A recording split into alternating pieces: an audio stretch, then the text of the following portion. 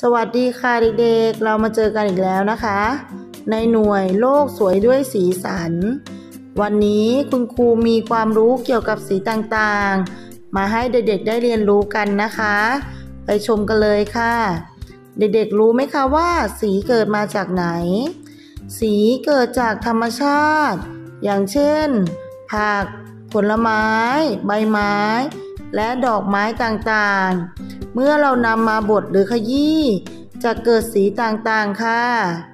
นอกจากเกิดจากธรรมชาติแล้วยังเกิดจากมนุษย์สร้างขึ้นด้วยนะคะ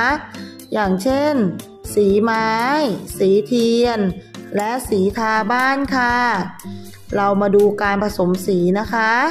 สีมีทั้งหมดนะคะสามสีที่เป็นแม่สีนะคะเด็กๆ ได้แก่สีแดง สีเหลืองและสีน้ำเงินค่ะ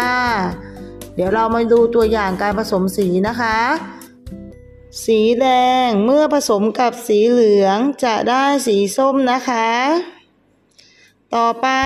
สีเหลืองเมื่อผสมกับสีน้ำเงิน จะกลายเป็นสีเขียวค่ะ และตัวอย่างสุดท้าย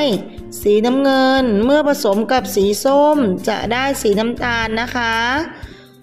เด็กๆพอจะเข้าใจแล้วใช่ไหมคะว่า สีแต่ละสีนะคะ เมื่อนำมาผสมกัน จะกลายเป็นสีต่างๆที่เกิดขึ้นมากกว่าเดิมนะคะ ต่อไปเป็นประโยชน์ของสี สีทำให้สิ่งต่างๆ ดูสวยงาม และน่าใช้มากขึ้น ตัวอย่างเช่น สีจากไม้บล็อกรางระนาด ตู้เสื้อผ้าและกระเป๋าหนังสือทำให้ของต่างๆดูใหม่ และน่าหยิบใช้สอย วันนี้เด็กๆได้ความรู้เกี่ยวกับสีมากมายเลยใช่ไหมนะคะ แล้วเจอกันใหม่ในคลิปหน้านะคะเด็กๆสวัสดีค่ะ